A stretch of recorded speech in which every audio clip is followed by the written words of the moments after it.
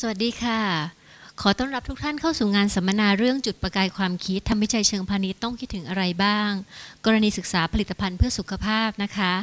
ซึ่งงานสัมมนาในครั้งนี้จัดโดยความร่วมมือระหว่างอุทยานวิทยาศาสตร์ประเทศไทย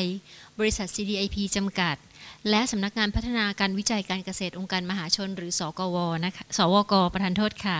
โดยทั้งสามหน่วยงานมีส่วนร่วมในการผลักดันผลิตผลจากการวิจัยออกสู่ตลาดในบทบาทต่างๆ กัน สวกทำหน้าที่ในการให้ทุนสนับสนุนงานวิจัย แก่นักวิจัยเพื่อผลิตผลงานออกมา บริษัท CDIP จำกัดเป็นเอกชนที่ทำหน้าที่ผลิตขยายผลนำผลงานวิจัยดีๆ ออกสู่ตลาด ส่วนอุทยานวิทยาศาสตร์ประเทศไทยก็ทำหน้าที่เป็นพื้นที่เช่าในการวิจัยและพัฒนาของเอกชน จากประสบการณ์ของเรา เราพบว่าการนำผลิตภัณฑ์ชิ้นหนึ่งโดยเฉพาะผลิตภัณฑ์เพื่อสุขภาพออกสู่ตลาดนั้นไม่ใช่เรื่องง่าย ต้องอาศัยความร่วมมือของทุกฝ่าย แต่ทั้งนี้ทั้งนั้นการจะร่วมมือกันได้นั้น เราต้องมามองเห็นภาพเดียวกันเสียก่อน ว่าภาพใหญ่ตั้งแต่การตลาดการผลิตและกฎระเบียบมีขั้นตอนอย่างไร และมีข้อจำกัดอย่างไรโดยท้ายสุดของงานสัมมนานี้เราหวังว่าทุกท่านจะได้เห็นภาพเดียวกัน และวางแผนเลือกหัวข้อวิจัย ที่ตอบโจทย์ความต้องการของตลาดและหน่วยงานที่เกี่ยวข้องได้เป็นอย่างดี ในลำดับแรกนะคะเเราจะมาทำความเข้าใจกับปัจจัยหนึ่งที่สำคัญก็คือด้านการผลิต ว่าจะผลิตอย่างไร ให้ใครผลิตวัตถุดิบจากไหน แล้วก็สารพันปัญหาต่างๆ ที่เกี่ยวข้อง และต้องพิจารณาก่อนการทำการผลิต การตัดสินใจเลือกหัวข้อวิจัย เชิงพาณิชย์ วันนี้คุณสิทธิชัยแดงประเสริฐ plant director บริษัทโรงงานเภสัชอุตสาหกรรม JSP ประเทศไทยจำกัด จะมาช่วยชี้ประเด็นข้อจำกัดทางด้านการผลิต ที่ท่านอาจจะลืมนึกถึงไป ขอเรียนเชิญคุณสิทธิชัยแดงประเสริฐ plant director บริษัทโรงงานเพียสัตย์อุตสาหกรรม JSP ประเทศไทยจำกัดค่ะ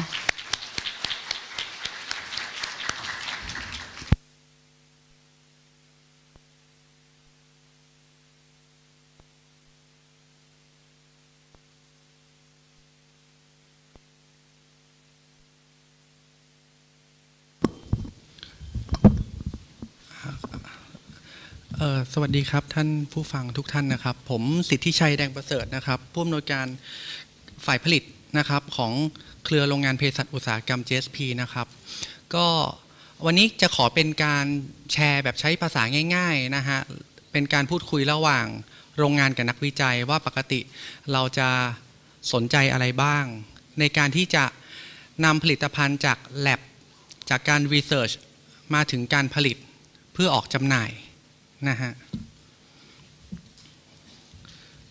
รู้สึกเลเซอร์หมดพลังครับ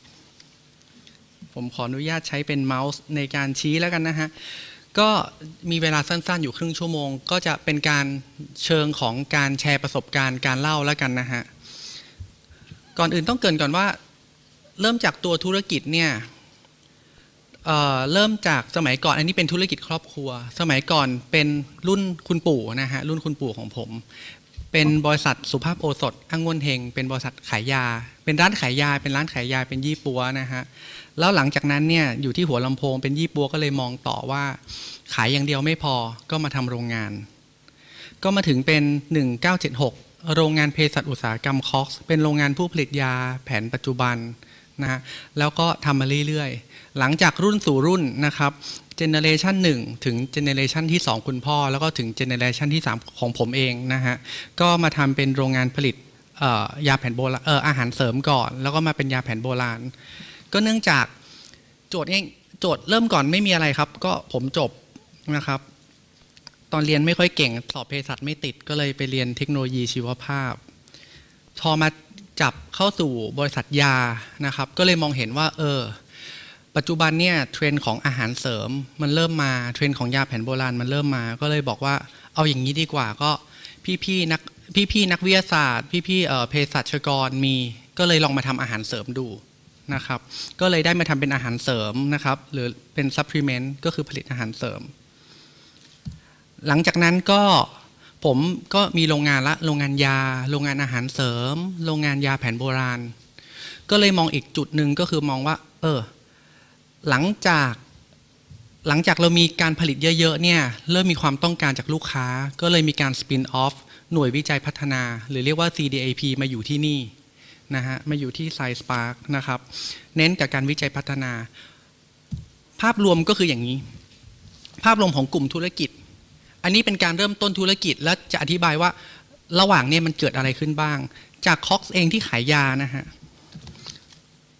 จากคอกเองที่เราทำธุรกิจยา ผมเริ่มเปิดรับจ้างผลิต พอเริ่มเปิดรับจ้างผลิตจะมีว่า customer request ละลูกค้าถามว่า เออ น้องก็ผมก็น้องๆ ลูกค้าทั้งนั้นลูกค้าบอกเอ้ยน้อง น้องมีอะไรใหม่ น้องมีอะไรใหม่ พี่อยากให้น้องทำสิ่งใหม่ๆ อยากให้หาผลิตภัณฑ์ใหม่ๆ ออกจากตลาดบ้าง การขายยาการทำสงครามราคา การออกผลิตภัณฑ์ใหม่มันยากมันเย็นนัก หาของใหม่ให้หน่อยนะครับ แล้วเขาก็มาสอนผมไปซื้ออออนุสิทธิบัตร ไปจ้างตอนนั้นจ้างมหาลัยทำแล้วเอาอนุสิทธิบัตรมาแล้วอาจารย์มาสอนผม ผมก็เลยมองว่า เออลูกค้ามาสอน ดีอะครับ ลูกค้ามาพร้อมเงินเขาให้ทำอะไรเราก็ทำนะครับ ก็เลยมาทำเป็นอาหารเสริมตัว Food Supplement นะครับ ก็โลโก้ก็เป็นต้นไม้ชื่อ GS JSP หลังจากเราทำรับจ้างผลิตไปเรื่อยๆ ก็จะมี requirement จากลูกค้ามา อันนี้เป็นแผนภาพที่ที่ผมโชว์ให้ดูว่า ขอใช้เป็นตัวนี้แล้วกันนะครับ จากจุดนี้ละ เป็นแผนภาพที่ผมโชว์ให้ดูว่า เมื่อจากยามาทำเป็นอาหารเสริมเนี่ยคนก็เริ่มมองแล้วลูกค้าก็เริ่มรีควายละอาหารเสริมมีอะไรใหม่ มีอะไรใหม่ มีอะไรใหม่ มีอะไรใหม่ มีอะไรใหม่มาทุกปีเลย ลูกค้าใครก็บอกมีอะไรใหม่ใหม่ใหม่ใหม่ใหม่จนทีมทีมวิจัยพัฒนาของผมเนี่ยทำงานไม่ทัน ทีมโปรดักชันก็ทำงานไม่ทัน ก็เลยคุยกันว่าคุยกับทางนักวิจัยในในในโรงงานว่า คุยกับพี่ๆที่นักเป็นนักวิจัยทั้งยาอาหารเสริม สมุนไพรอะไรต่างๆ ว่าเออทำยังไงดีล่ะ งานวิจัยเราทำไม่ทันนะ เราคิดเองเนี่ย ปัจจุบันก็อาจจะเรียกว่าเป็น cross innovation เราคิดเองเนี่ย แค่ไอเดียเราเองกับไอเดียลูกค้ามันไม่พอ จุดที่ผมมีนะฮะ ผมมีโรงงานแล้วผมมีตลาด เรารู้ว่าลูกค้าต้องการอะไร เป็นสิ่งที่นักวิจัยทำไมผมถึงบอกว่าทำไมคุณไม่ไปหาแถวจากมหาลัยจากอาจารย์ล่ะเขาบอกว่าบางทีอาจารย์จะไม่เข้าใจ นักวิจัยที่เป็น peer researcher เนี่ยจะไม่จะเข้าใจว่าตลาดต้องการอะไร เขาจะมองในมุมมองของเขา มุมมองของ publication มุมมองของผู้ให้ทุน แต่ตลาดมองว่าอะไรที่ทำแล้วขายได้ อะไรที่ตลาดต้องการเขาเลยมาหาผม แต่เรียนตามตรง ผมก็เป็น research and development ในในบริษัท ความรู้ความสามารถก็ไม่เพียงพอ resource ต่างๆ ก็ไม่พอ เครื่องไม้เครื่องมือเครื่องอะไรหลายๆต่างผมก็ทำไม่ไหว ผมก็เลยเกิดการ spin off มาที่ Science Park ไปอยู่ที่ Innovation Cluster 1นะครับ เนื่องจากที่นี่มีนักวิจัยเยอะแยะ ที่คอยจะช่วยเหลือได้ มีเครื่องไม้เครื่องมือ มีคำแนะนำรวมถึงมีงานวิจัยดี ๆ ที่อยู่บนหิ้ง ให้ผมไปเลือกเฟ้นเลือกซื้อมาแล้วผลักดันเข้าสู่ห้างนะครับผม ก็เลยมาอยู่ตรงนี้ หลังจากมาอยู่ที่ Science Park ก็เลยเกิด New Food Supplement อีกละ ก็แตกเป็นบริษัทใหม่ A9 Bio ก็ spin off ออกมา เป็นลักษณะของการทำ liquid capsule เริ่มมี เอ่อ traditional medicine คือยาแผนโบราณ แล้วก็เริ่มแตก cosmetic ทั้งหมดทั้งสิ้นมาจากผลงานวิจัยต่างๆ ที่ผมพยายามดึงจากหิ้งลงมาสู่ห้าง ถ้าเรามองงานวิจัยถูกตัวแล้วดึงมาถูกตัวเนี่ยแล้วก็ผลักดันสู่ห้างได้ แล้วก็ success story คือสำเร็จนะครับ แต่ระหว่างนี้จะไม่ให้เพื่อไม่ให้หลุดประเด็นว่าปัญหาอุปสรรคจะมีอะไรบ้าง หลังจากนั้นก็ customer ก็หามีอะไรใหม่อีก คุณมีโปรดักต์ใหม่ใหม่ใหม่ใหม่ใหม่เยอะแยะไปหมดเนี่ยมันไม่เล้าใจมันไม่พอ ก็เลยไปมองเห็นสุดท้ายก็คือเรื่อง regulatory affair คือการขึ้นทะเบียน การขึ้นทะเบียนเป็นปัญหาและเป็นอุปสรรคอย่างหนึ่งที่นักวิจัยก็ไม่รู้ผู้ประกอบการหลาย ๆ ท่านก็ไม่รู้นะครับ ก็เลยเกิดการไปจอยกัน spin off มาอีกบริษัทหนึ่งนะครับ หลาย ๆ ส่วนเดี๋ยวจะเล่าให้ฟังว่าทำไมถึงต้อง spin off ทำไมถึงต้องแตกแตกแตกเป็นบริษัทเล็ก ๆ ไปหมดทำไมไม่ใช่บริษัทใหญ่นะฮะ ก็อันนี้เป็นกลุ่ม Product นะครับ จากทำมา3 Generation ครับ ก็ได้เท่านี้ครับ ยาแผนปัจจุบัน 80 กว่าตัว อาหารเสริมนะฮะ ยาแผนโบราณ แล้วก็ OEM Product ก็คือกลุ่มรับจ้างผลิต ตอนนี้ผมเน้นก็คือรับจ้างทำงานวิจัยพัฒนาแล้วก็รับจ้างผลิตนะครับ อันนี้คือกลุ่มผลิตภัณฑ์ที่เราทำให้กับหลาย ๆ บริษัท จากบริษัท CDAP นะฮะอะทีนี้เข้าทฤษฎีนิดนึงนะครับ สิ่งที่เรามองสิ่งที่เรามองคือเรามองอะไร อย่างที่เกริ่นมาแล้ว ผมมีโรงงาน ผมมีการผลิต ผมรู้จักว่าตลาดคืออะไร ทีนี้เรามองต่อว่า มีตลาด มีการผลิต มีการวิจัย แต่การวิจัยเราไม่พอเรา spin off ออกมาเป็น CDAP นะครับ conceptual design for intellectual property เพราะเรามองว่าสิ่งนี้มันเป็นทรัพย์สินทางปัญญา conceptual design คือเราต้อง ดีไซน์ในสิ่งที่ลูกค้าต้องการได้ เช่นลูกค้ามาหาผม industry เดินเข้ามา industry เดินเข้ามา บอก อืม ตอนนี้เทรนกระแสนะ ต้องแต่งตึง แล้วก็ผิวขาว จะให้ดีแก้มอมชมพู มี concept มาละ ดีไซน์ให้หน่อยสิ ว่าจะดีไซน์ยังไงดีนะครับ ครั้นตัวเราเองเนี่ยทีมงานผมก็ไม่ใช่ยอดมนุษย์จากไหนนะฮะ resource ผมก็ไม่ได้มีมากมายแลบใหญ่ ๆ ผมก็อาศัย University มหาลัยหรือ Institute นะครับ ก็คือหน่วยงานทั้งหลาย ให้โจทย์เข้าไป ว่าเรามีโจทย์จากเนี่ยโจทย์อุตสาหกรรม คุณช่วยไปวิจัยพัฒนาให้หน่อย คุณช่วยไปวิจัยพัฒนาไปคิดค้นให้หน่อย หรือมองโจทย์จากอุตสาหกรรม ว่าโจทย์จากอุตสาหหรือมองโจทย์ที่มหาลัยมี แต่ทีเนี้ยสิ่งที่ยากคือการแมทชิ่งคือการมองว่าว่าการ cross กันเนี่ยให้มันชนกันเนี่ยมันจะทำยังไงให้เกิดตรงนี้ ให้เกิดตรงนี้ มหาลัยมอง ทำไงที่ได้เงินทำไงที่ได้เงินจากอุตสาหกรรมนะครับ ส่วนอุตสาหกรรมก็มองว่าจะเอาไปขายได้ยังไงนะครับ เดี๋ยวจะอธิบายในสไลด์ถัดไปนะฮะอันนี้เป็นอีกอีกอีกสไลด์หนึ่งนะฮะจากจาก European Journal of Innovation Management ก็จะบอกว่างานวิจัยที่จะสำเร็จเนี่ยก็มาจากมหาลัย Industry Government อันนี้ง่าย ๆ เป็นภาพที่ผมเชื่อว่านักนวัตกรรมนหรือนวัตกรทั้งหลายคงได้มองเห็นภาพ แต่ขออธิบายนิดนึงเพราะว่าภาคเอกชนหรือหน่วยงานธุรกิจก็มาเยอะภาคการตลาดก็มาเยอะจะบอกว่า เฉพาะอินดัสทรีกับ University เนี่ยบางทีไม่พอ ก็จะต้องมี government มาช่วย เช่น สวทชเองช่วย ช่วยให้เกิดมี iTab เข้ามาช่วย CD โครงการ CDA โครงการ CD เอง หรือสอนอชอเอง หรือคูปองนวัตกรรมเอง เหล่านี้คือเหล่าสิ่งที่ government support เพราะฉะนั้นเอกชนก็ต้องมองหา หาการ support เพราะการลงทุนด้วยตัวเองลำพังมันไม่เพียงพออะทีนี้จุดที่มองสองสไลด์ที่แล้ว สิ่งที่มันไม่ match กันคืออะไร professor professor มอง how to conduct R&D project ตีพิมพ์ หา project ตีพิมพ์ นี่คือสิ่งที่เขามอง แต่จะบอกว่า but for industry development ถ้ามองได้ก็ดี แต่ผมจะเจอว่าทางในเมืองไทยจะไม่ค่อยมองตัวนี้ แค่ตีพิมพ์ผลงานให้ได้ตาม KPI ที่มหาลัยต้องการให้ได้ success แล้ว แต่สิ่งที่เขาไม่ได้มองว่า แล้วอุตสาหกรรมออกไปได้ใช้ประโยชน์หรือเปล่านะครับ มหาลัยมองอะไร จะหาเงินมาแอนดีจากไหนนะฮะจะสร้างโปรฟิตให้มหาลัยยังไง แต่ว่าปัจจุบัน คำนี้เพิ่งมองกันนะฮะว่าว่าว่าจะสร้าง Profit ให้มหาลัยได้ยังไง การหา collaboration จะทำยังไง เห็นทางภาครัฐมีการผลักดันอยู่ สวทช เองก็เห็นมีโครงการต่างๆ อยู่ แต่ยังไม่ค่อยเกิดเท่าไหร่นะฮะอันนี้เป็นเป็นเป็นทางทางเกาหลีเนี่ยเขามา present ในงานบิสปานะครับก็ประมาณรู้สึกช่วงต้นเดือนที่ผ่านมา เอาสไลด์เขามาแปะนะครับอธิบายซ้ำเผื่อบางคนไม่ได้ฟัง อีกจุดหนึ่งคือ government ละครับก็ successful support R&D HRD ทำไงจะ create new employment หรือว่าหาเงินเข้าประเทศชาติให้ได้นะครับเนี่ยเราจะเห็นว่าแต่ละคนพยายามในเมืองนอก พยายามมองว่าในแต่ละมุมมองของ professor university หรือ government เองเนี่ยพยายามมองเพื่อหาจุดร่วม ของไทยเราไม่ต้องคิดอะไรมากครับ ก็แค่ตามเขาให้มันทัน ก็พอไม่ต้องไปคิดอะไรใหม่ให้มันไปไกล ตามเขาให้มันทันก็ก็เหลือๆแล้วครับ enterprise ก็ enterprise ก็คือเอกชนก็มองว่าเทคโนโลยีกับ market นะครับทำไงให้มันไปได้นะครับ อันนี้ก็ฉายภาพนะครับ ภาพทฤษฎีหรือภาพรวมๆ ก็จะอาจจะขอสัก 10 นาทีนะครับ ก็คือเรื่องของ fuzzy front end การได้มาซึ่งผลิตภัณฑ์ใหม่นะฮะมาตั้งแต่ไอเดีย generation หลักไอเดียมายังไง concept definition มายังไง exploration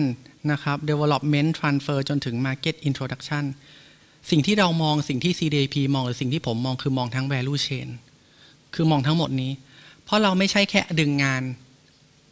แล้วก็มาพัฒนาแล้วก็มาขาย แต่เราต้องมองทั้งลูป เมื่อมองทั้งลูปก็จะเจอปัญหาอุปสรรคหลาย ๆ อย่างนะฮะใช้ไปเร็ว ๆ อีกจุดหนึ่งก็คือ new product development บางคนจะมองเรื่องของ state gauge นะครับ ก็คือมี stage ก็คือตัวได้มาซึ่งไอเดียต่าง ๆ ตัวได้ ได้ได้มาซึ่งพารามิเตอร์ต่างๆ หรือข้อมูลต่างๆ ที่ R&D เขาใช้ส่วน gate ก็คือตัวกรองนะครับ เช่นมีไอเดียมาแล้วก็กรอง จากร้อยไอเดียอาจจะเหลือแค่ 10 ไอเดีย นี่คือ concept เอาคร่าวๆแล้วกัน เพราะว่าวันนี้เป็นภาคของไม่ใช่ภาคทฤษฎีนะฮะ เป็นภาคการแชร์ความรู้ สิ่งที่เรา scope สิ่งที่เรามองนะครับ สิ่งที่บริษัทเรามองเรามองสองอย่าง ไอเดียมาจากไหน ไอเดียที่มาจะขายได้หรือเปล่า หรือแม้แต่การหาข้อมูลจากหิ้งลงมาสู่ห้าง งานวิจัยหลายๆงานที่อยู่บนหิ้งมีเป็นร้อย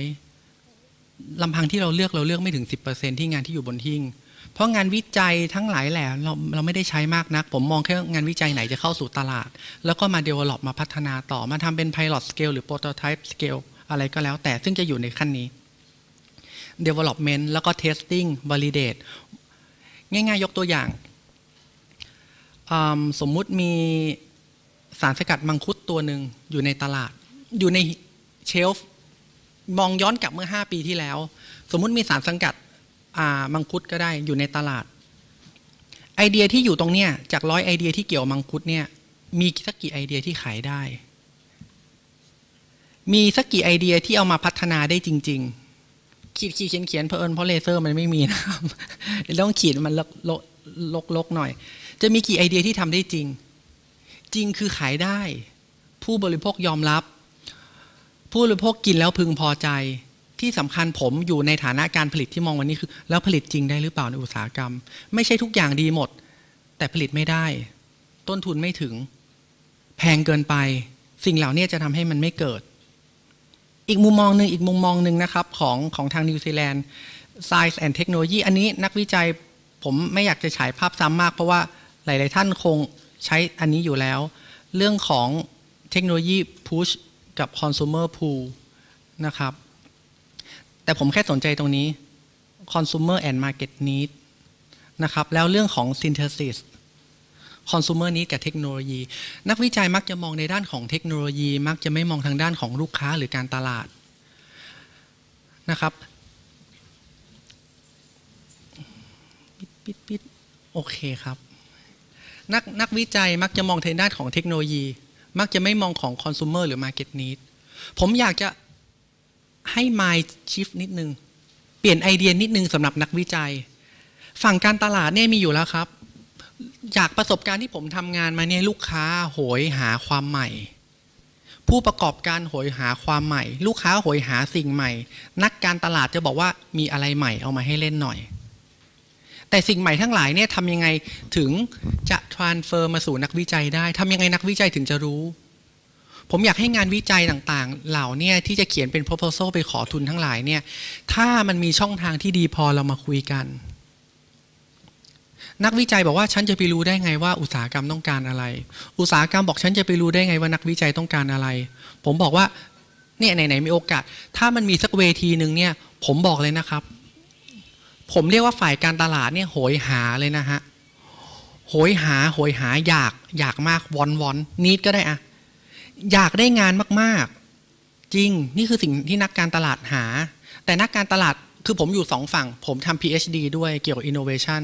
ผมอยู่ฝั่งโรงงานด้วย ผมทำการตลาดด้วย ผมขายของด้วย ผมสวมหมวกหลายใบ หมวกการตลาดบอก ใหม่อยากได้ของใหม่อยากได้ของใหม่ใหม่ใหม่ใหม่ใหม่จะทำยังไงดี ไม่รู้จะคุยกับใคร ผมถามไม่วิ่งไปหามหาลัยเหรอเขาบอกพวกอาจารย์เนี่ยกับพวกคุณหมอเหมือนกัน กับพวกนักวิจัยเหมือนอาร์ตเหมือนอาร์ติสนะครับ คุยไม่ค่อยรู้เรื่องนะถ้าคุยแล้วชอบหน้าเนี่ยบางทีให้เลย คุยแล้วไม่ชอบหน้าเท่าไหร่ก็ไม่จ่ายเอ้ยเท่าไหร่ก็ไม่ให้ เพราะว่าลูกชั้นชั้นประคบประงมมาหลายปีกว่ามันจะคลอดออกมาเป็นงานวิจัยตัวหนึ่งนะครับ ส่วนนักวิจัยก็บอกว่าบางคนบอก เอกชนคุยยาก เอะอะก็คุยแต่เรื่องเงินเงินเงินเงินเงินคุยแต่ผลประโยชน์ ถ้าถ้ามันมีตรงกลางเนี่ยมาจอยกันได้เนี่ยงานวิจัยไม่ทิ้งนะฮะงานวิจัยไม่เสียหาย เอาสักสิบยี่สิบสามสิบเปอร์เซ็นที่ออกมาเป็น launch ผ่านตลาดจริงเนี่ยแล้ว success สักสิบเปอร์เซ็นเนี่ยผมว่าพัฒนาขึ้นเยอะเรื่อง science and technology นะครับ ขอโทษตะกี้หลุดไปเยอะกลับสู่ภาพที่ผมต้องพูดละนะครับ ก็คือเรื่องของการผลิต นะครับตะกี้พูดซะเยอะไอ้นักวิจัยกับการตลาดเนี่ย คุณหาวิธีคุยกันให้รู้เรื่องก่อน แต่ผมหลุดไกลไปหน่อยจริงๆภาพผมอยู่แค่ตรงกลาง นักวิรีเสิร์ชสู่การตลาดมันต้องมีการผลิตอยู่ตรงกลางโฟกัสนะครับ เตือนผมนิดนึง ผมจะเตือนตัวเองว่าโฟกัสนะครับ เหลือเวลา 15 นาที งานวิจัยจะออกไปสู่การตลาดต้องมีการผลิต แล้วการผลิตเจอปัญหาอะไรบ้าง ผมเป็นผู้บริการทางด้านการผลิต ดูแลคนงานดูแลเครื่องจักรดูแลการอัพสเกลจะเล่าว่าเกิดปัญหาอะไรบ้าง ข้อหนึ่งคือ technical skill ผมขอใช้ภาพกลับนะครับ ผมบอกว่ามันจะอยู่ในเฟสนี้ development แรก ๆ อาจจะไม่ต้องคุยกับฝ่ายผลิตเยอะ แรก ๆ คุณก็หาไอเดียให้ได้ก่อนหาโจทย์ให้ได้ก่อน แต่พอจะพัฒนาหรือหาจุด ที่มีงานวิจัยเรียบร้อยแล้ว จาก publication จาก literature review ก็แล้ว แต่ละท่านอยากจะต่อยอด ขอให้การต่อยอดของงานวิจัยทั้งหลายที่จะเข้าสู่ industry เนี่ยเข้ามาคุยกับตรงนี้ ให้เข้ามา concern ตรงนี้ technical skill to produce the product หลาย ๆ งานวิจัยหรืออาจารย์หลาย ๆ ท่านที่เรียนจบจากเมืองนอก นาโน ไปถึงไหนแล้วก็ไม่รู้ สเต็มเซลล์ไปไกลถึงไหนแล้วก็ไม่รู้ หรือไม่ก็เอนจิเนียริงไปไกลถึงไหนก็ไม่รู้ เวลาท่านกลับมาเป็นนักวิจัยอยากให้ประเมินนิดนึงว่าสิ่งที่ท่านกำลังทำเนี่ยถ้าเพียวไซไปเลยผมไม่นับนะครับ ผมจะจับแต่ด้านแอปพลายไซสิ่งที่ท่านกำลังทำอยู่ หรือสิ่งที่ท่านกำลัง launch ออกมาอยู่เนี่ยพวกเราหรือคนไทยหรือผู้ประกอบการมีศักยภาพขนาดไหนในการเอางานของท่านไปทำนะครับ อันนี้สั้นๆตรงนี้ก่อน ผู้ประกอบการมีศักยภาพขนาดไหน พนักงานของเราเนี่ยมี skill ขนาดไหน ที่จะเอางานของเราไปทำนะฮะอะไรที่มัน advance มากอะไรที่มันไปไกลมากเนี่ยอาจจะ launch ออกในตลาดลำบาก อันนี้พูดถึงแง่ applied นะฮะผมผมไม่ได้ anti ทางด้าน pure sci นะครับจริง ๆ ตัว fundamental ตรงนั้นต้องมี แต่ถ้ามองในแง่ applied เนี่ยถ้าคุณมองในแง่ applied คุณอย่าเอาเรื่อง fundamental ของ pure sci ลึกๆมาคุย หรือการที่หน่วยงานของท่านบางบางท่านมีทีมงานเยอะแยะ การที่จะหาคนมาคุยเอกชนเนี่ยอย่าเอาแอปอย่าเอา pure sci มากๆ มาคุย คุยกันไม่รู้เรื่องครับ เอกชนเข้าไปคุยมาหาลัยหรือเข้าไปคุยคณะ คุยถ้าไม่รู้เรื่องครั้งเดียวเขาไม่มีความอดทนจะไปคุยรอบสองรอบสามนะครับเวลาเขาน้อย เวลาท่านก็น้อย เวลามอบหมายนักวิจัยสักท่านเนี่ยอาจจะมอบหมายนักวิจัยที่คุยภาษาเดียวกันกับนักธุรกิจรู้เรื่อง ไปแนวแอปพลายเข้ามาคุยก็จะเกิด งานการแมทชิ่งได้ง่าย อันนี้เป็นภาพที่ผมทำขึ้นมาเองนะครับ ผมสะใจมากภาพนี้ เรื่อง processing equipment ผมกำลังจับเรื่องออการเลี้ยงจุลินทรีย์ พวก probiotic ผมเป็นเอกชนครับ ตังค์ผมมีจำกัด เวลาผมคุยนักวิจัยทั้งหลายนักวิจัยจะคุยกับผมที่ภาพนี้ เนี่ยครับ เวลาผมคุยนักวิจัยทั้งหลายนะครับ คุยผมภาพนี้ i t a b ให้เงินผมก็ 50%ไม่เกิน 5 0 0แสนบาท คูปองนวัตกรรมให้ผม 4 0 0แสนบาท ผมยังไม่ขยับตัวเลยครับ ผมแค่ซื้อเครื่องนี้เงินก็หมดแล้วครับ fail หรือเปล่าผมยังไม่รู้นะ อันนี้คือ lab scale ใช่ไหมครับ เข้ามา prototype scale RD scale เท่านี้ เอกชนรายเล็ก ๆ นะฮะ ผมพูดในฐานะผมรายเล็กนะ อย่ามองนะครับ fermenter ร้อยลิตรหรือพันลิตรเนี่ย ไอ้เนี่ยผมยังไม่มีปัญญาซื้อเลย แล้วคุณทำเพื่อรายใหญ่หรือคุณทำเพื่อ SME ถ้ามองว่าคุณทำเพื่อ SME เรามาคุยกันนิดนึง ตัวเดียวกันนะนี่นี่นี่เรื่องเดียวกันนะ ผมว่าอย่ามาคุยกับผมได้ไหมไอเนี่ยอะไรก็ไม่รู้เนี่ยนะครับ ผมจบไบโอเทคแต่ผมเรียกว่าเนี่ยอะไรก็ไม่รู้ ในมหาลัยมีให้ใช้ สวทช มีให้ผมเคยไปดูละ แต่ยังไม่ได้ขอใช้ยังไม่กล้า ผมก้าวสู่สเต็ปเลยครับ ผมก้าวสู่ขั้นนี้ อันนี้ผมไม่ได้ทำนะครับ ผม literature review ของผมผมเห็นคนทำอันนี้ผมบอก เออ มันก็น่าจะได้ผลเหมือนกันนะ ผมจะบอกนักวิจัยทั้งหลายว่า บางครั้งคุยเอกชนเนี่ยอาจจะต้องคุยกันเรื่องเรื่องนี้นะครับ อย่าคุยกันเรื่องนี้ เพราะคุยกันไม่รู้เรื่อง เราคุยกันคนละภาษา ถามว่าโน้ตฮาวเหมือนกันไหมองค์ความรู้เหมือนกันไหมเชื้อเหมือนกันไหม condition เหมือนกันไหมเหมือน pure sci หรือหน่วยงานรัฐท่านทำอย่างนี้ แต่ถามว่า สวทช มีอย่างนี้กี่เครื่องครับ รวยมาก สวทช มีอย่างนี้กี่เครื่อง เอกชนต่อคิวทำกันไม่ไหว เอกชนเข้าไปคิวกันไม่ไหวหรอกครับ เอกชนที่อยากทำเรื่องนี้เยอะนะ ผมไปดูตามโซเชียลมีเดียเดี๋ยวเดี๋ยวนี้ผมจะหาความรู้ผมดู YouTube กับเล่นตาม Facebook ฮัลโหลมีใครทำเรื่องสาหร่ายพลังงานไหม มีใครทำเรื่องโปรไบโอติกไหม มีช่วยมาแอดแอดกันหน่อย แอดแอดเสร็จแล้วเขาส่งพวกนี้มาให้ ผมบอก เนี่ยใช่เลย เนี่ยคือสิ่งที่ผมต้องการ นี่คือ process equipment นะครับ แล้วถ้ารวยแล้วตั้งโรงงานแล้วถึงค่อยทำอันนี้ อันที่สองครับ เครื่องนี้เท่าไหร่ครับ หลายล้านเนาะหลายตังอะยังไงต้องมีเหยียบล้าน ผมเห็นกล่องนี้กล่องเดียวก็หลายแสนละผมไม่ต้องประเมินมาก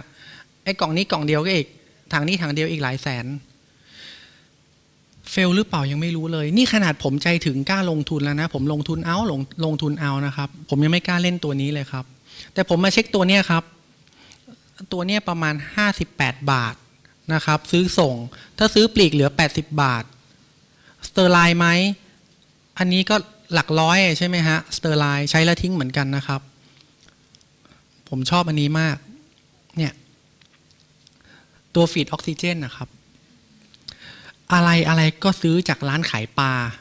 เนี่ยอาจารย์ท่านเนี่ยอะไรอะไรก็ซื้อจากร้านขายปลานี่ซื้อจากตลาดนะครับ อันนี้ไม่รู้เขาขโมยจากห้องแลบมหาลัยมาหรือเปล่า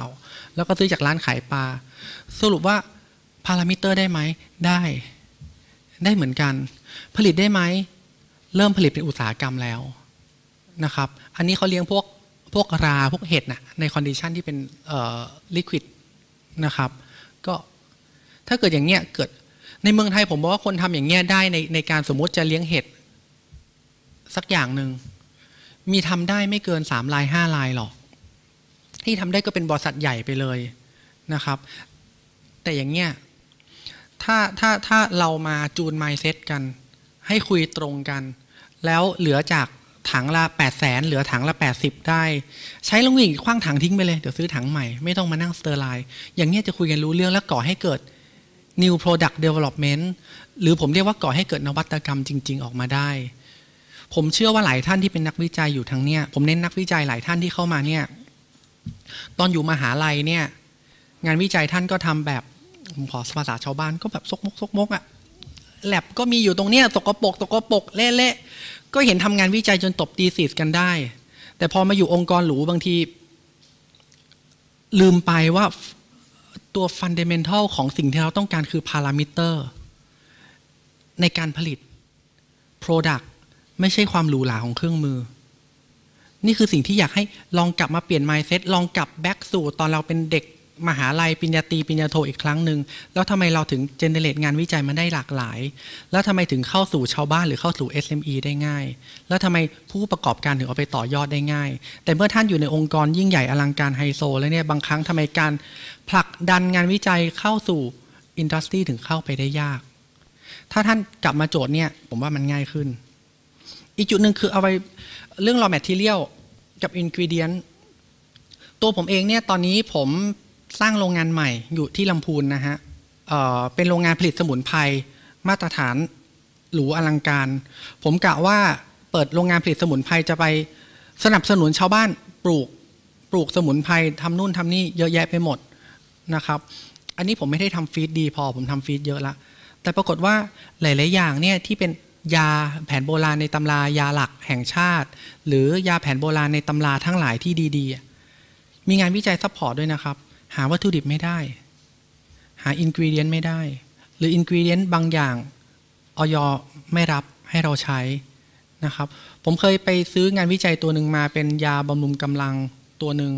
มีรากส้มกุ้ง นะครับ มีรากส้มกุ้ง ผมก็ไปซื้อผมทำตัวอย่างส่งออยได้ กระปุกเล็ก ๆ ก่อนเป็นยาแผนโบราณเป็นรากส้มกุ้ง แล้วพอจะขึ้นทะเบียนก็ทางเจ้าหน้าที่เขามาคุยกับผม เจ้าหน้าที่ก็บอกว่า น้องหารากส้มกุ้งตัวจริงให้พี่ดูหน่อย ผมไม่ได้ทำทุกอย่าง ผมก็บอกอานดีเฮ้ยไปหารากส้มกุ้ง ตัวจริงมาส่งสิถ้าส่งได้เราจะได้ขึ้นทะเบียนได้ น้องบอกพี่ กว่าหนูจะหารากส้มกุ้งเนี่ยนะ มาทำไอ้สามร้อยเม็ดเพื่อขึ้นทะเบียนได้เนี่ยพลิกทั้งตลาด กว่าจะได้มา เพราะฉะนั้นจะให้หนูหาได้ขอเวลาสักสัปดาห์หนึ่งผมบอกว่า เฮ้ย แค่คุณหาสำหรับแค่ผลิตตัวอย่างคุณพลิกทั้งตลาดเลยเหรอ แล้วถ้าเราผลิต commercial scale ล่ะ ผมบอก เฮ้ย น้อง ถ้าพี่ขายดีขายได้วันละล้านเม็ดเนี่ย จะทำยังไง R&D ผมตอบง่ายมากครับ ไม่รู้ เรื่องของพี่แล้วไม่ใช่เรื่องของหนู เพราะหนูทำงาน R&D หนูไม่ได้ทำงาน production production เป็นเรื่อง production โยนอีก production ไอดีไม่รู้มันเรื่องจัดซื้อ จัดซื้อผมบอก ผมต้องขอบคุณคุณพี่อย. ที่นั่งหน้าโต๊ะมากว่าขอบคุณครับที่เตือนผมก่อน ถ้าผมได้ทะเบียนแล้วอะ แล้วถ้าผมขายแสนเม็ดสองแสนเม็ดลงทุนการตลาดสามล้านห้าล้าน ติดขายดีระเบิดเถิดเทิง ตุ้มรอแมทหาไม่ได้ เกิดอะไรขึ้นเฟลเนี่ยขนาดเป็น RD ที่อยู่ในโรงงานผมนะครับ ที่ลอนช์ผลิตภัณฑ์ออกมาเป็นร้อยร้อยตัวแล้วเนี่ยเขายังลืมเลยเขาบอกก็ลืมก็เห็นตัวไหนมามันก็หาได้หมด ลืมจริง ๆ ผมก็บอกก็เนี่ยเนี่ยคือประสบการณ์ แล้วถามกลับมาทางท่านที่เป็นนักวิจัยเอง บางท่านหาสารสกัดเลิศหรูอลังการ หาสมุนไพรไฮโซมากๆ เพื่อกะว่าสูตรเนี่ยฉันหาได้คนเดียวละ เวลาจะวิจัยอะไรคิดเผื่อรวยด้วยนะครับ อย่าคิดแค่ได้ publication ผมบอกว่าคิดอะไรต้องคิดไกลๆเหมือนผู้บริหาร ผมคุยกับผู้บริหารหลายๆท่านเนี่ยเขาคิดทีวางแผนทีวางแผน 5 ปี 10 ปี ผมเป็นผู้บริหารระดับต้นวางแผน 5 ปีนะครับสสวางแผน 4 ปี หรือไม่ก็คืนทุนแป๊บเดียว นักวิจัยวางแผนแค่จบงานวิจัยหรือเปล่า ผมอยากจะบอกว่ากว่าจะเข้าสู่อุตสาหกรรมเนี่ยงานวิจัย upscale production scale เตรียมตัวเข้าสู่การตลาดทำการตลาดลงทุนขายวอลลุ่มมันจากเล็ก ๆ ไปใหญ่ๆเนี่ยนักวิจัยท่านต้องคิดด้วยนะครับว่าคิดเผื่อรวยอะ่ะ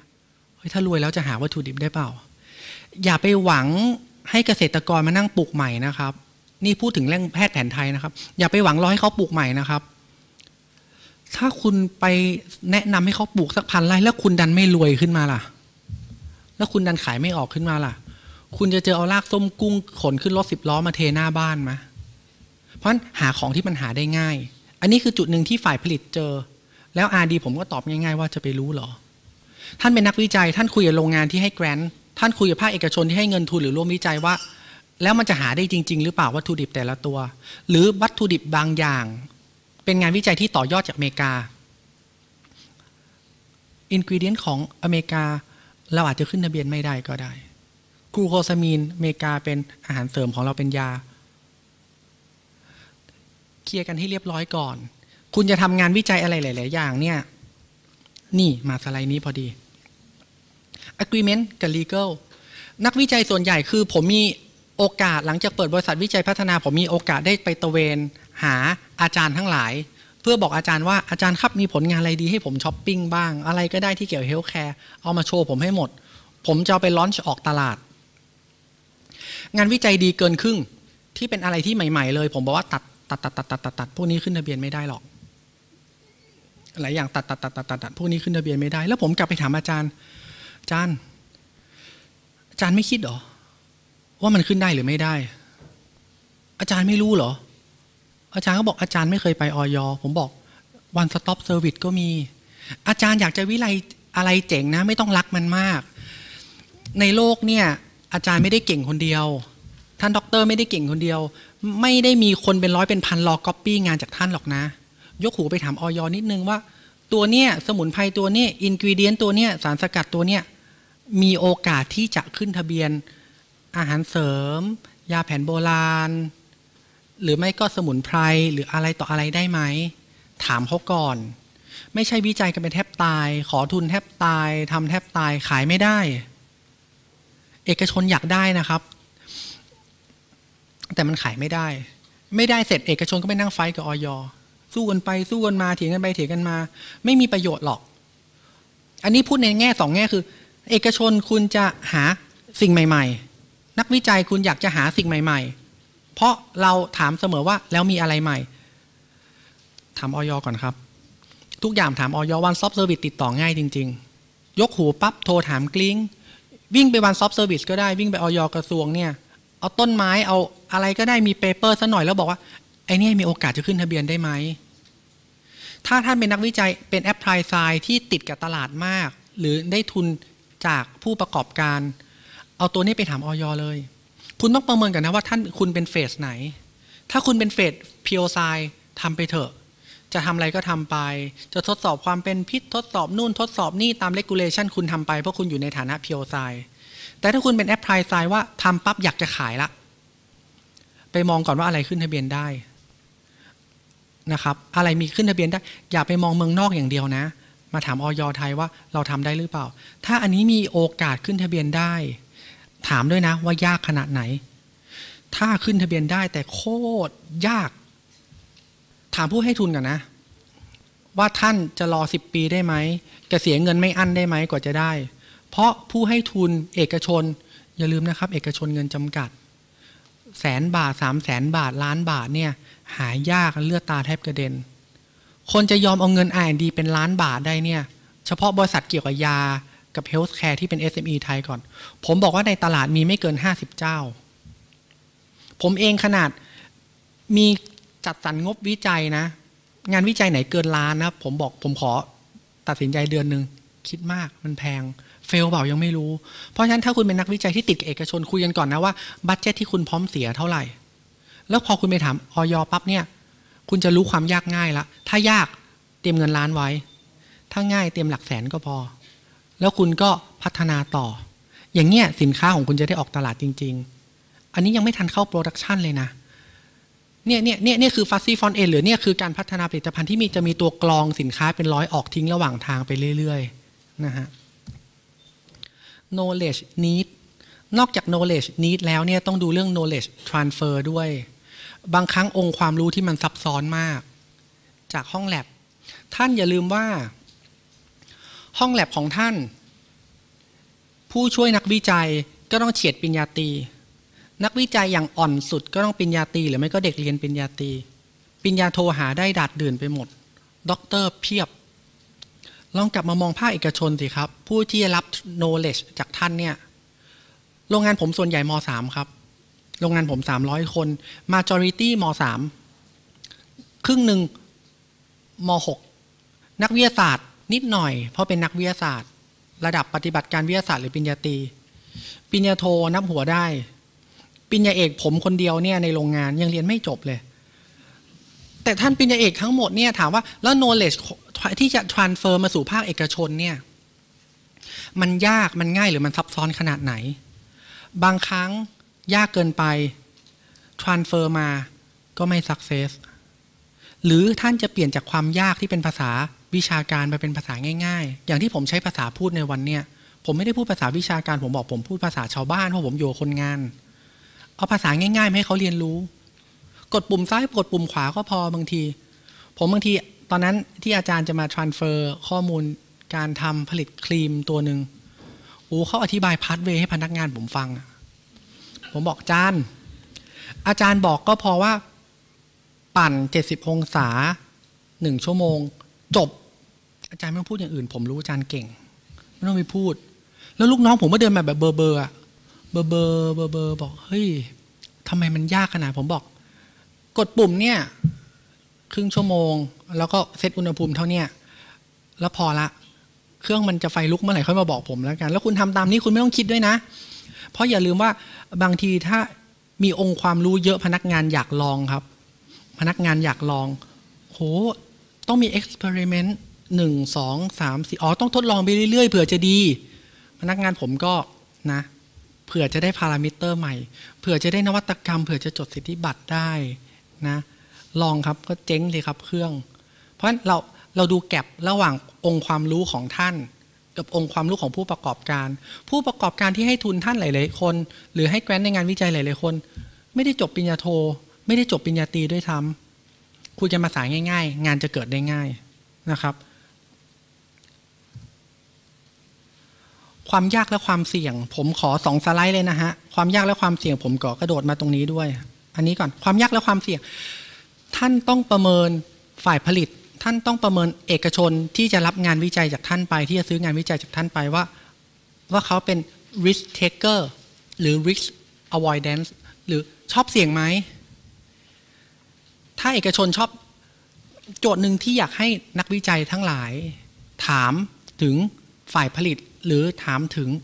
ผู้ประกอบการคือ ผู้ประกอบการท่านรับความเสี่ยงได้ขนาดไหน คุยกันให้เคลียร์คุยกันให้ชัวร์อย่าสักแต่ว่าเริ่มงานวิจัยแล้วก็เริ่มไป เพราะงานวิจัยผมว่าเกินครึ่งนะเฟลระหว่างทางด้วย ด้วยไม่นักวิจัยถอดใจก็ผู้ประกอบการถอดใจ ถ้างานวิจัยท่านเสี่ยง ท่านหาเอกชนที่รับความเสี่ยงได้ เงินแสนเงินล้านเจ๊งได้ไม่เป็นไรเขาไม่ว่า แต่ถ้าท่านคุยเอกชนบางรายอะอย่างผมบอก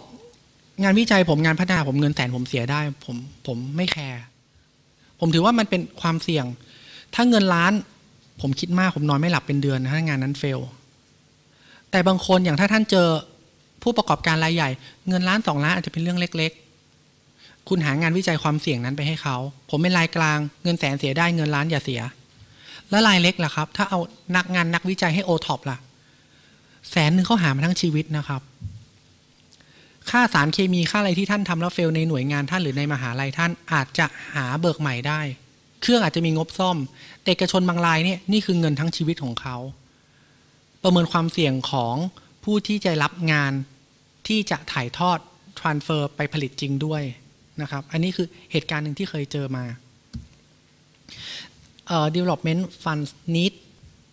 ต้องการเงินขนาดไหนบัตเจตอะไรต่างๆ อยากให้คุยให้เรียบร้อย กับทางภาคเอกชนผู้จะรับงานวิจัยไปต่อยอด หรือฝ่ายผลิตที่จะขอซื้องานของท่านมา เพราะไม่มีอะไรที่ไม่มีการเสียตังค์เพิ่ม งบประมาณไม่มีงบไหนที่ไม่เคยบานปลายถ้าเป็นงบของเอกชนนะฮะมักจะมีการบานปลายคุยส่วนเผื่อเหลือเผื่อขาดไว้ด้วยนะฮะอันนี้คือสิ่งที่อยากให้คุยก่อน development cost financial resource นี่คล้าย ๆ กัน แต่ว่าอยากให้ประเมินด้วยว่าเงินเงินมันมีหลายแหล่ง ท่านท่านที่มีแหล่งเงินทั้งหลายอาจจะคุยกับผู้เอกชนผู้จะรับงานของท่านไป หรือท่านท่านเป็นเอกชน ก็ลองคุยกับนักวิจัยว่า มันมีแหล่งเงินไหนมาช่วยเหลือไหมนะครับ จะสกวสวกวชววอะไรก็ไม่รู้ แต่ผมใช้แค่ ที่ผมใช้ผมใช้บอกแบบคือ iTab เอ่อของ NIA แล้วก็คูปองนวัตกรรม อันนี้อันนี้ที่ที่ที่ผมใช้บ่อยๆนะครับ ก็จะหาแหล่งเงินมาช่วยสนับสนุน อย่างที่บอก แต่ก่อนผมไม่มี R&D นะ ก็มี iTab นี่แหละเข้ามาคุยกับผม แล้วบอกว่ามีเงินให้เปล่า ส่วนหนึ่งสนับสนุน 50%เมื่อหลายปีที่แล้ว เอกชนร้อยทั้งร้อยครับ เอาของฟรีไปล่อ เอาของฟรีไปล่อ มีเงินแกรนไปล่อครับ สู้ตาย อ่า ก็ตั้งแต่งานแรกที่ผมขอตังค์ iTab มาก็ขอตังค์เขามาเรื่อยๆ จนถึงปัจจุบัน แกรนช่วยได้เยอะ เงินให้เปล่าช่วยได้เยอะ แต่คุณต้องมีอะไรการันตีด้วย แล้วคุณต้องคุยเรื่องความเสี่ยงให้เรียบร้อย เพราะว่างานที่เฟลกับอาจารย์ก็มีเยอะนะครับ จุดแข็ง จุดแข็งขององค์กร จุดแข็งขององค์กร คือหลายๆอย่างเวลาเดี๋ยวนี้รู้สึกจะมีของที่ไหนไม่ทราบที่เขาบอกว่าจะต้องมีภาคเอกชนกับภาคนักวิจัยหรืออาจารย์มาจอยกัน เอกชนก็ต้องให้เงินส่วนหนึ่งรัฐบาลจะให้เงินส่วนหนึ่งก็ก็อยากให้มองด้วยว่า อย่าคิดแต่จะมุ่งหางานวิจัยเพื่อให้ได้ผลงานตีพิมพ์หรือผลงานให้ achieve KPI แต่อยากให้คุยผู้ประกอบการให้เยอะๆ แล้วคุยอย่างตรงไปตรงมาว่า อะไรคือความเสี่ยง อะไรคือประโยชน์ต่อองค์กร และอะไรไม่ใช่ประโยชน์ต่อองค์กร เพราะงานหลาย ๆ อย่างที่ที่ท่านไปหว่านล้อม เอกชน หรือเอกชนไปหว่านล้อมนักวิจัยก็ตาม ถ้าไม่ใช่จุดแข็งในองค์กรเขาเนี่ยต้องถามเขาก่อนนะว่า สิ่งที่คุณทำใหม่เนี่ย คุณจะ diversify ธุรกิจตัวคุณหรือเปล่า อยากให้ประเมินเหล่านี้เพราะว่าหลาย ๆ องค์กรชอบไอเดียกระฉูดทำอาหารอยู่ดี ๆ อยากไปทำอิเล็กทรอนิกส์อย่างเงี้ยหรือคุณทำอิเล็กทรอนิกส์ดีๆเห็นอาหารเสริมขายดีก็อยากมาทำอาหารเสริม อยากมาจับงานวิจัยอาหารเสริม เพราะว่าถ้าเกิดมันข้าม industry หรือไม่ใช่จุดแข็งที่ผู้ประกอบการทำอยู่หรือจับอยู่เนี่ยบางครั้งอะเขาจะนึกว่า industry ที่เราทำอยู่มันง่าย แล้วพอมันไม่ง่ายจริงมันก็ fail แล้วพอเอกชน fail แล้วถอดใจเนี่ย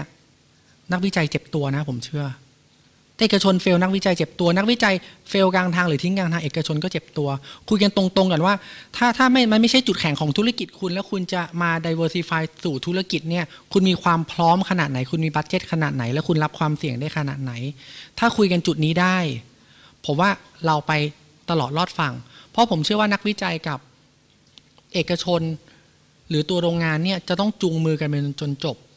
จบโครงการแล้วก็จะสำเร็จแล้วก็วินวินทั้งคู่ ถ้าต่างคนต่างเดินต่างคนต่างคิดถึงประโยชน์ระยะสั้นของส่วนตัวเนี่ยมักจะเฟลกันกลางทาง แล้วเฟลกันกลางทางถ้าถ้ามันไม่ถ้ามันไม่มีกำลังใจต่อมก็เลิก เลิกทำงานวิจัยเลิกคิดอะไรใหม่ ๆ นะฮะอันอันนึงอีกอันนึงที่สำคัญคือ time time กับเวลากับคน งานหลาย ๆ อย่างเนี่ย เวลาผมไปช้อปปิ้งงานวิจัยมาหรือจะ scale up เนี่ยลูกค้าผมมักจะรออยู่แล้ว ผมจะหางานวิจัยหรือการถ่ายทอดงานวิจัย เฉพาะงานที่ลูกค้ารออยู่แล้ว มันจะมีการคุยกันก่อนว่า ผมจะคุยอาจารย์หรือนักวิจัยว่า อาจารย์ครับ งานเนี่ยอนุสิทธิบัตรที่ผมซื้อมาเนี่ยใช้เวลาเท่าไหร่ถึงจะล็อนช์ออกตลาดได้ อาจารย์ก็บอกสองเดือนก็เสร็จ ขึ้นในเป็นออยเท่าไหร่ถ้าอาหารเสริมก็สี่เดือนก็เสร็จ ผมก็ไปคอมมิตลูกค้าสองเดือนบวกสี่เดือนเป็นหกเดือนลำไหวครูอีกหนึ่งเดือนเจ็ดลูกค้าเจ็ดเดือนได้ของแน่ครับ เตรียมเปิด PO ไว้เลยนะครับ ปรากฏว่าอะไร ข้อแรกที่ผมเจออาจารย์ติดสอนอาจารย์ติดสอบ ติด KPI ติดงานวิจัยติดอะไรก็ไม่รู้ อีกหนึ่งเดือนมาคุยกัน เหตุผลที่สองก็นะเวลาการทำงานมันต้องมี late อยู่แล้ว หนึ่งเดือน งานไม่เสร็จ scale up ไม่ผ่าน เพราะอาจารย์ก็ไม่เคย scale up อาจารย์จับแต่ lab scale อาจารย์ไม่เคยจับ prototype scaleถ้าเป็นยาอาหารเสริมเครื่องตอกอาจารย์มีแต่โรตารี่ ตอกทีละ single punch เอ้ยไม่ใช่เร็วมี single punch ตอกยาทีเม็ดตอกตอกตอกตอกตอกตอกเข้าโรงงานผมเป็นโรตารี่ อาจารย์มึน ไม่ใช่อาจารย์ไม่เก่งนะ แต่มันเป็นคนละพารามิเตอร์กันที่จะวัด ผมคุยอาจารย์บอกอาจารย์ไหนสองเดือนสองเดือนที่ไหน ผ่านมาแล้วสามเดือนก็ไม่เสร็จสี่เดือนก็ไม่เสร็จห้าเดือนก็ไม่เสร็จ ลูกค้าก็จี้อยู่ข้างหลัง รอถูกเบี้ยเบี้ยปรับละนี่ยังไม่เริ่มขึ้นในเบนออยเลย พอขึ้นในเบนออยแก้แล้วแก้อีกแก้แล้วแก้อีก เพราะฉะนั้นเนี่ยก็เลยบอกว่าระยะเวลาที่ที่ท่านจะคอมมิตกับภาคเอกชนเนี่ยท่านดูให้ดีถ้าท่านไม่มีประสบการณ์เนี่ยคุยกันให้เรียบร้อยนะ ว่า time to market จากงานวิจัยจากการ scale up จาก production scale เตรียมออกขายต้องใช้เวลาเท่าไหร่ ออยต้องขึ้นทะเบียนประมาณเท่าไหร่ คิดเผื่อเหลือเผื่อขาดไว้ด้วย อย่าพยายามเร่งเวลา ถ้าทางภาคเอกชนเห็นนั่งอยู่ข้างหลังห้อง ก็อย่าไปเร่งเวลานักวิจัย นักวิจัยอย่าไปเร่งเวลาเอกชน แต่ผมไม่ได้บอกว่าต้องไม่ควบคุมเวลานะ คุณต้องควบคุมเวลาแต่อยากให้คำนวณแฟกเตอร์เผื่อเหลือเผื่อขาดไว้เยอะๆ เพราะว่าทะเลาะกันประจำระหว่างนักวิจัยลูกค้าเอกชน R&D ผมเอง ทะเลาะกันเรื่องเวลาเนี่ยแหละ ไหนบอกจะได้แล้วมันไม่ได้ เรื่องพวกนี้เป็นเรื่องที่สำคัญ อีกตัวหนึ่งก็คือเรื่องระยะเวลาคุยกันที่เรียบร้อย ถ้าท่านไม่มีประสบการณ์ในการดีลเอกชน เวลาที่ท่านคิดไปเท่าไหร่คูณสองจากประสบการณ์เลยนะครับ อันนี้ตัวเลขคลาสสิกจากประสบการณ์เลย ท่านมั่นใจเท่าไหร่ที่คิดว่าทำได้ คูณสองแล้วค่อยคอมมิตเวลาเอกชนทุกอย่างเงินทองเวลาเขาสำคัญของท่านก็สำคัญ เวลาเตรียมไว้เท่าไหร่คูณสองไว้เลย งานวิจัยคิดว่าสามเดือนเสร็จบอกเป็นหกเดือน เผื่อเหลือเผื่อขาดทำเร็วกว่าไม่มีใครว่า ในภาคเอกชนเอกชนจะบอกว่าจบเร็วไม่ว่า แต่อย่าจบช้ากว่ากำหนด อันนี้ต้องคุยกันให้เรียบร้อยนะครับ เวลาในการวิจัยเวลาการออกตลาด หลาย ๆ ท่านจะไม่มีเวลาการวิจัยอาจารย์เวลาผมไปคุยด้วยเนี่ย อาจารย์ท่านจะมองแต่การ transfer เทคโนโลยี หรือถ้าเอกชนหลาย ๆ ท่านเพิ่งจะจอยกับนักวิจัย ท่านจะมองในการ transfer เทคโนโลยี หรือการ scale up ถ้ามองระยะเวลาแค่เนี่ยอาจจะไม่พอ ถ้าท่านไม่ได้มีประสบการณ์ทำมาแล้ว 10 20 30 ตัว เผื่อเวลาไว้เยอะ ๆ ในการ transfer เทคโนโลยี เพราะว่าเอาจริง ๆ แล้ว lab scale สู่ pilot scale เนี่ย จริง ๆ มันมันยากอะผมว่ามันยาก จุดที่ทำให้ fail เยอะมาก แล้ว pilot scale สู่ production scale เนี่ย จุดที่ทำให้ fail มันเยอะมาก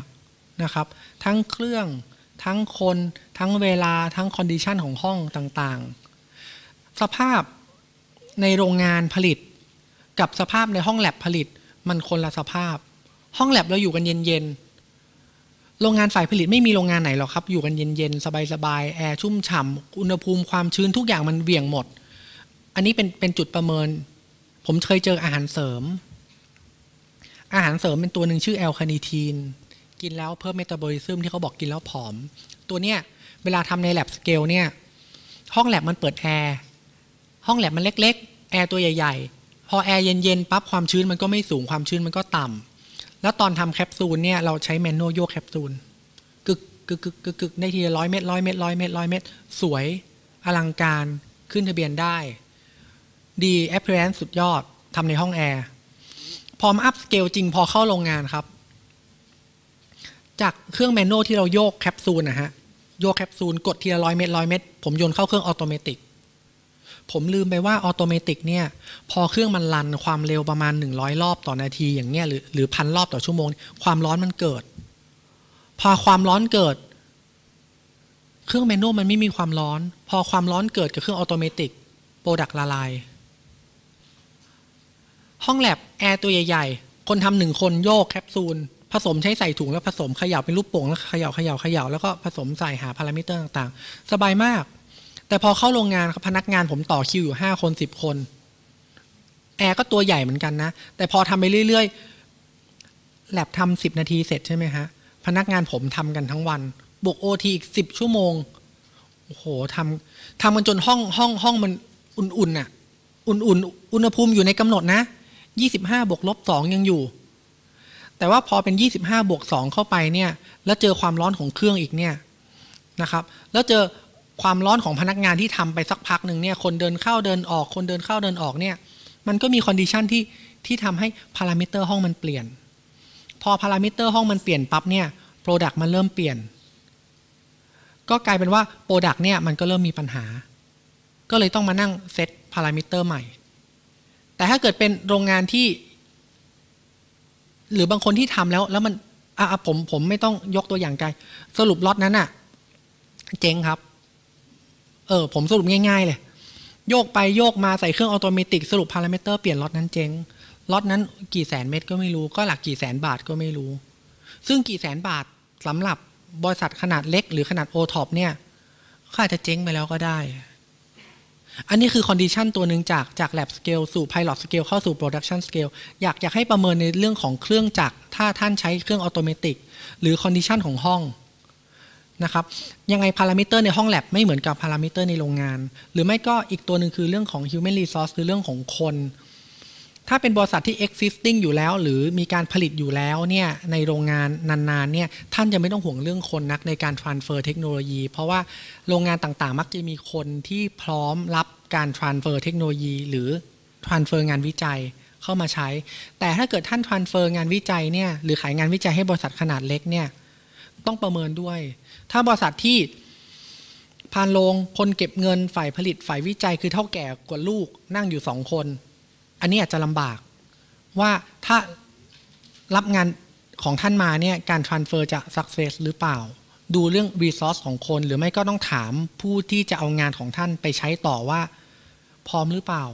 ถ้าท่านเอาโปรดักของฉันไปเนี่ยท่านจะจ้างคนเพิ่มไหมท่านจะซื้อเครื่องเพิ่มไหมถ้าอะไรอะไรก็ไม่ทำแล้วขายโปรดักของฉันไปเนี่ยนักวิจัยก็คาดหวังความ success ของของผลิตภัณฑ์ใช่ไหมฮะถ้าทำแล้วไม่ success ก็เสียใจ อ่าครับ เกือบจบอีก 2 สไลด์ อันนี้สสำคัญที่สุดครับ ผมทำเรื่อง health care ยาอาหารเสริมเครื่องสำอางสมุนไพรคิดอะไรไม่ออกโทรถามออยครับ เครื่องสำอางตัวนี้ขึ้นทะเบียนได้ไหม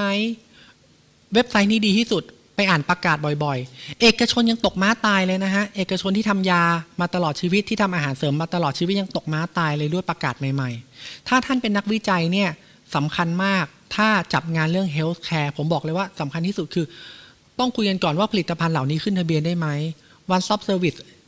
work ใช้งานได้คุยได้ถามได้เว็บไซต์ไปอ่านเยอะๆ แล้วท่านจะเห็นของใหม่ๆ แล้วท่านจะรู้แนวทางแล้วว่าอะไรขึ้นทะเบียนได้ไม่ได้ ถ้าวิจัยในสิ่งที่ขึ้นทะเบียนได้ success ไม่ยาก เอกชนพร้อมขายอยู่แล้วนะฮะ อันนี้ก็ตึ๊บตึ๊บสุดท้ายก็คือ นักวิจัยเอกชนคุยกันที่เรียบร้อย นักวิจัยระวังเรื่องความใหม่ของการตีพิมพ์ เพราะบางครั้งถ้าท่านตีพิมพ์เยอะไป ถ้าท่านตีพิมพ์เต็มที่ท่านจะได้ผลงานทางวิชาการแต่เอกชนบางทีก็ก็ไม่ต้องพึ่งพาท่านแล้ว เพราะท่านตีพิมพ์หมดแล้วนะครับ ผมก็เหมือนกันครับ ผมก็ก่อนคุยนักวิจัยผมหางานตีพิมพ์ ถ้ามีงานตีพิมพ์เยอะๆผมงานตีพิมพ์มาใช้ คุยทำไมให้เสียตังค์ใช่ไหมฮะเรื่อง licensing เรื่องฟอนต์ฟรีกับ royalty ฟรีต้องคุยให้เรียบร้อยก่อน ผมคุยกับอาจารย์อาจารย์หลายคน หรือนักวิจัยหลายคนบอก เรื่องเงินเรื่องเล็กไว้คุยกันทีหลัง เราเดี๋ยวค่อยซื้อใจกันเดี๋ยวค่อยว่ากันอีกทีเดี๋ยวเงินเงินคุยกันทีหลัง ผมจะได้ฟังประจำเลย ผมเอกชนบอกไม่ได้ เรื่องเงินเรื่องผลประโยชน์ต้องคุยกันก่อน ถ้าคุยผลประโยชน์ไม่จบงานไม่เอานะ เพราะว่าหลาย ๆ ครั้งที่ผม transfer เทคโนโลยีมาแล้วหรือขายได้แล้วเนี่ยเออนักวิจัยไม่จบ เรียกร้องไม่จบ เงินมาความโลภเกิด คุยกันที่เรียบร้อย ท่านจะเป็นเอกชน หรือท่านจะเป็นนักวิจัยไม่รู้ สิ่งนี้คือสิ่งที่สำคัญที่สุดก่อนเริ่มงานใดทั้งสิ้นคุยผลประโยชน์ให้เรียบร้อยก่อน ถ้างานนี้ success loyalty fee จะเก็บเท่าไหร่ front fee เก็บเท่าไหร่ อีกอย่างที่ระวังคือ non disclosure agreement NDA กับ confidential agreement ทำให้เรียบร้อยก่อนนักงานทำให้เรียบร้อย งั้นจะถูกขโมยงาน แล้วถ้าเอกชนก็ทำให้เรียบร้อยกับพนักงานที่เป็นลูกจ้าง งั้นก็จะถูกลูกจ้างลาออกเล่าข้อมูลไปบอกคนอื่นนะครับ ตามไปฟ้องร้องไม่ได้หรอกแต่อย่างน้อยก็กันนะครับ แล้วก็เรื่อง exclusive กับ non exclusive ในการที่ท่านจะขายงานวิจัย หรือจะ commercialization จะไปขายแล้ว ระวังเรื่องพวกนี้ให้ดี พวกนี้คือคำพื้นๆที่หาได้ทั่ว ๆ ไป แต่ว่า แบบฟอร์มมีทุกคนมีทุกคนรู้จักคำนี้ ผมเชื่อทุกคนรู้จักไม่มีใครไม่รู้จัก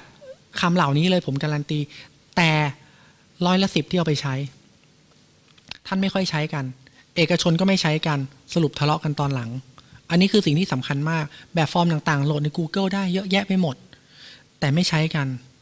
อันนี้ซีเรียสนะฮะว่าว่าต้องใช้ในการจะ transfer เทคโนโลยี หรือการจะ upscale อะไรต่างๆ ครับ จบครับอันนี้เพิ่มเติมกลุ่มเว็บไซต์ของบริษัทแล้วก็อีเมลผม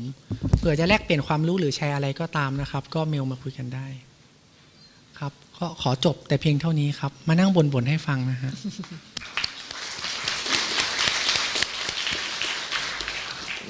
ขอบพระคุณคุณสุทธิชัยแดงประเสริฐมากนะคะ หลาย ๆ ท่านนักวิจัยจะเริ่มขมวดคิ้วนะคะว่าทำไมโปรดักชันมันซับซ้อน เหลือเกินนะคะ ก็เราจะมีบูธของทาง CDAP นะคะ อยู่ด้านด้านด้านด้านมุมขวามือของดิฉันนะคะ ถ้าเกิดจะปรึกษาเรื่องอื่นๆนะคะ หลังหลังจากช่วงเบรกหรือหลังจากงานก็ได้นะคะ ด้านหลังจะมีใครอยากจะขอทุนนะคะ ก็จะมีบูธของสกวอยู่ด้านหลังเช่นเดียวกัน แล้วก็สำหรับท่านที่สนใจตั้งห้องแลบเพื่อทำวิจัยก็จะมีของอุทยานวิทยาศาสตร์ประเทศไทยนะคะ อยู่ด้านซ้ายมือของดิฉันนะคะ ด้านหลังนะคะ